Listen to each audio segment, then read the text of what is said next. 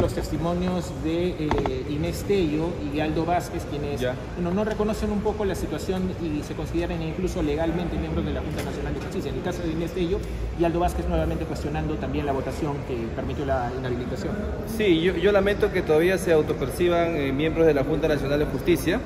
Eh, yo, yo recomendaría que puedan asesorarse muy bien porque no acatar una disposición del Congreso podrían estar incurriendo en delito de usurpación de funciones y de resistencia a la autoridad. Dice que ellos ya han presentado también una acción de amparo. Pueden presentar las acciones de amparo que quieran, están en todo su derecho, pero mientras un juez no resuelva lo contrario, cosa que yo realmente me muestro bastante escéptico que lo haga, ya que el Tribunal Constitucional ya definió las competencias del Poder Judicial y, del Congreso de la República, ellos pueden presentar todas las acciones que quieran, pero mientras eso digamos, no, no se revierta, la, la decisión del Congreso se respeta y ellos tendrían que acatar como buenos juristas que son, como a quienes estuvieron en un momento designando a jueces y fiscales que justamente tenían la función de hacer cumplir las leyes en nuestro país. para que los puedan juramentar? Ningún impedimento, más bien yo exhorto desde aquí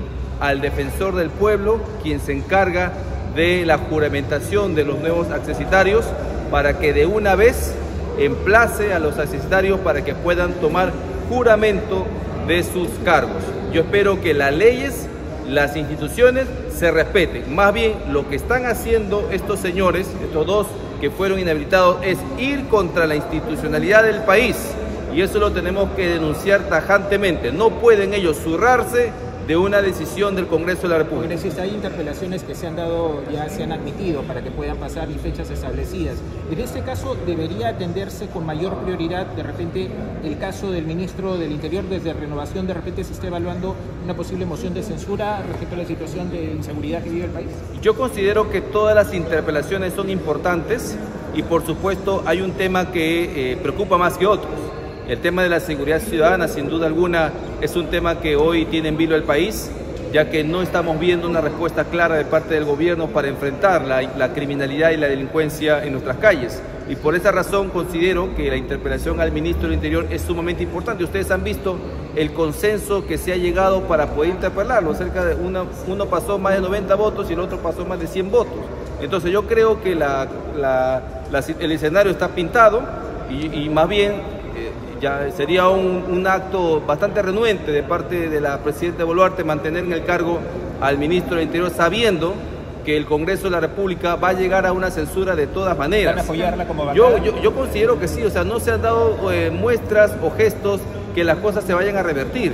Por ende, solicito a la presidenta que en lugar de hacer perder tiempo y valioso, más bien pueda ya designar a un nuevo ministro que tenga la personalidad y el liderazgo para, digamos, para poder eh, llevar a cabo una política eficiente contra la inseguridad ciudadana. ¿Me preocupa que la Comisión de Fiscalización no haya avanzado en su rol ahora más con la renuncia de Wilson Quispe? No, la comisión de, la comisión de Fiscalización este año ha sido otra definitivamente. No, hemos visto la misma agilidad, eh, la misma, eh, digamos, actuación que ha tenido anteriormente.